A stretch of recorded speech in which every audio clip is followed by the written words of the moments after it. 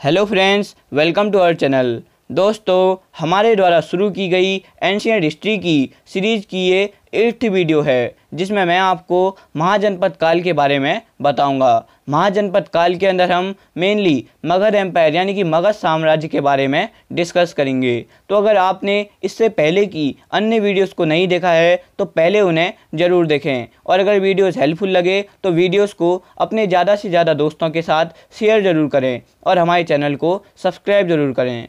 तो देखिए, पिछली वीडियोस में मैंने आपको लेटर वैदिक एज यानी उत्तर वैदिक काल के बारे में बताया था। और लेटर वैदिक एज 1000 थाउज़ेंड से लेकर 600 बीसी तक थी।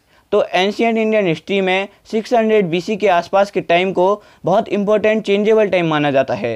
क्योंकि इस समय सोसाइटी में बहुत से चेंजेस देखने को मिले। लाइक इस समय जो इस समय को शुरुआती नगरों के विकास के साथ जोड़ा जाता है। यानी कि जो भारत में शुरुआती नगर बने, वो इसी समय बने थे। और लोहे की खोज से इस सोसाइटी में भी चेंजेज आए। इकोनॉमिकली चेंज आए लोहे की खोज के कारण। इस एज में बुद्धिज़्म और जैनिज़्म सहित बहुत सी फिलोसॉफिकल आइडियोलॉजीज डेवलप हुई थी। और सबसे इम्पोर्टेंट ये कि इसी समय महाजनपदों का निर्माण हुआ। यानी कि लेटर वैदिक एज जो में जो जनपद होते थे, वे अब महाजनपद में चेंज हो गए। जिस तरह आज हमारे देश में 28 स्टेट हैं, वैसे ही 600 बीसी में भारत को आर्यावर्त कहते थे और उस समय आर्यावर्त में 16 महाजनपद थे।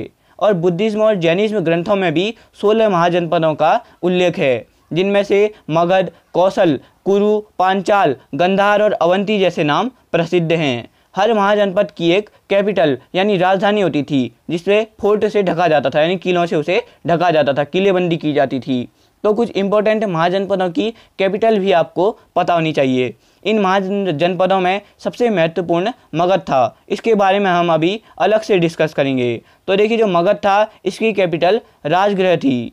अवंती की कैपिटल उज्जैनी थी, वज्जी की कैपिटल, वैशाली थी कौशल की कैपिटल, श्रावस्ती थी, कुरु की राजधानी हस्तिनापुर थी और गांधार की राजधानी तक्षशिला थी। और जो कि, जो गान तक्षशिला है, ये सिंधु और झेलम के बीच में स्थित है और ये इंडिया में शिक्षा का सबसे अर्लीस्ट प्लेस था और बाकी महाजनपदों की राजधानी यहाँ पे दी हुई है। इन सभी महाजनपदों में मगध, जो कि प्रेजेंट टाइम के बिहार में था, सबसे इम्पोर्टेंट और पावरफुल महाजनपद था। और इसके पावरफुल होने के बहुत से रीजन हैं। तो देखिए, मगध के शक्तिशाली होने के जो पहला रीजन था, वो ये था कि यहाँ फ़ार्मिंग बहुत अच्छी होती थी। अगर आप मैप में देखें तो ये देखिए, मगध वाला रीजन गंगा और यमुना आदि नदियों के किनारे था और नदियों के किनारे वाले एरिया में फ़ार्मिंग बहुत अच्छी होती है। और रिवर के किनारे होने का दूसरा बेनिफिट ये होता है कि नदियों के रास्ते ट्रैवल भी हो जाता है। और अगला रीज़न ये था कि यहाँ लोहे की जो खदानें थी, वो भी बहुत थी। अगर आप प्रेजेंट टाइम के झारखंड को देखें तो ये रीजन उस समय का मगध में था। और लोहे की खदानों के कारण वेपन बनाना ईजी था। उस समय का जो एज थी ये, इस समय युद्ध बहुत होते थे। और युद्ध के लिए जो वेपन थे, ये सबसे नेसेसरी चीज़ होती थी। और इसी कारण मगध में लोहे की खदान होने के कारण यहाँ पे हथियार बनाने के लिए वेपन बनाने के लिए लोहे की कमी नहीं थी। अगला रीज़न ये था कि यहाँ के जंगलों में हाथी बहुत थे और उस समय वॉर में हाथी बहुत इंपॉर्टेंट होते थे। एक तरह से वे सेना का हिस्सा थे।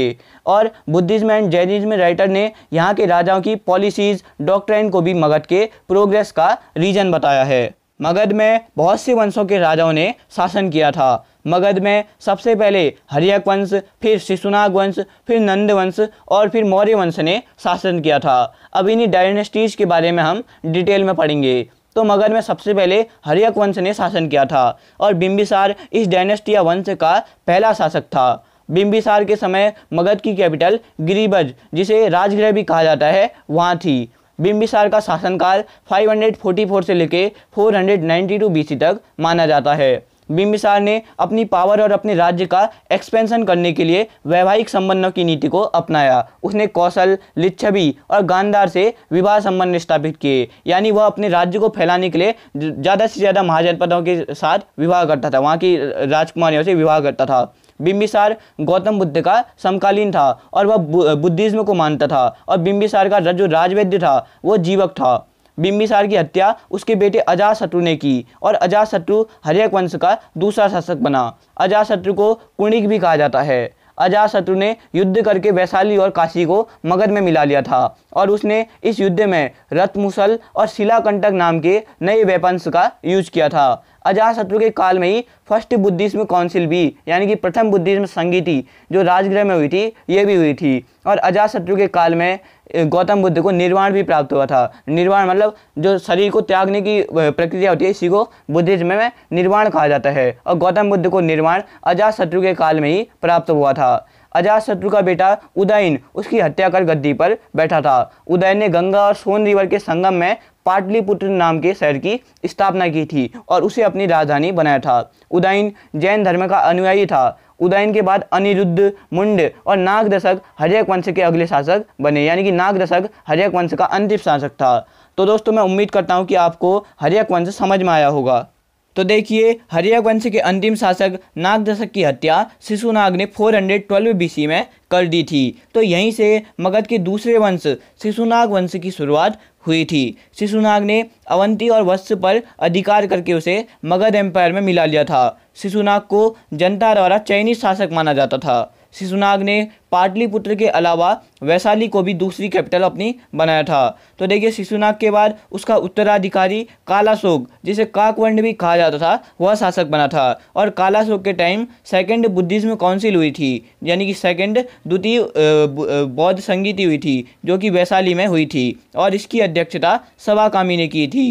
कालाशोक के मरने के बाद उसके उत्तराधिकारियों ने 344 बीसी तक शासन किया था और इस डायनेस्टी का लास्ट एम्पर नंदीवर्धन था। यानी कि काला सुनाग वंश का अंतिम जो शासक था, वो कालाशोक था। तो देखिए, मैं उम्मीद करता हूँ कि आपको ये वीडियो नॉलेजेबल लगी होगी। तो अगली वीडियो में मैं आपको नंदवंश के बारे में बताऊँगा और झेलम के युद्ध के बारे में बताऊँगा, जिसमें सिकंदर ने भारत पर आक्रमण किया उस युद्ध के बारे में। तो देखिए, अगर आपको ये वीडियो हेल्पफुल लगती है नॉलेजेबल लगती है तो इसे अपने ज़्यादा से ज़्यादा दोस्तों के साथ शेयर करें। धन्यवाद।